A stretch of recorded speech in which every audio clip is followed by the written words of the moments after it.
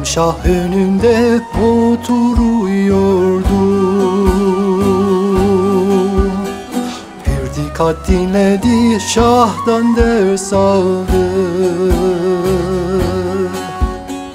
Marta meşguldü çok çalışıyordu. Meryem dinleyerek Şah'tan feyiz aldı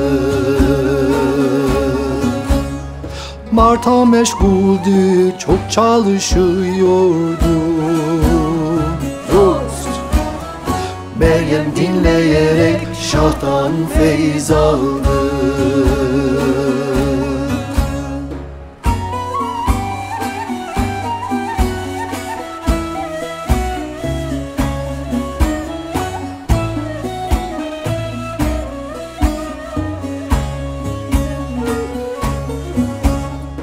Marta geldi Şah İsa'nın yanına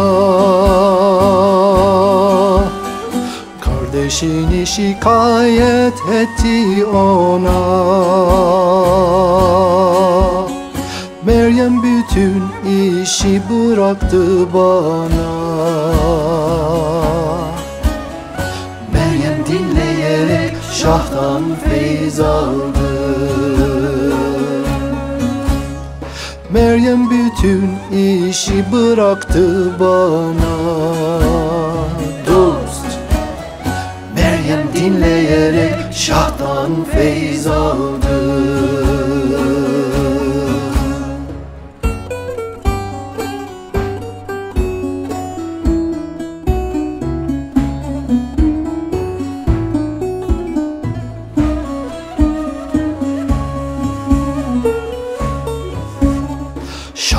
Dedi Marta Marta ne diyorsun?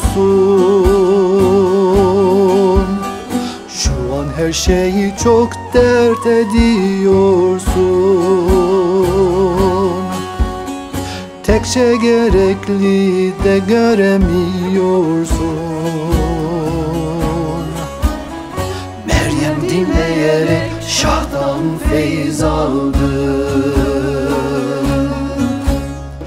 Tek şey gerekli de göremiyorsun. Dost Meryem dinleyerek Şah'tan feyiz aldı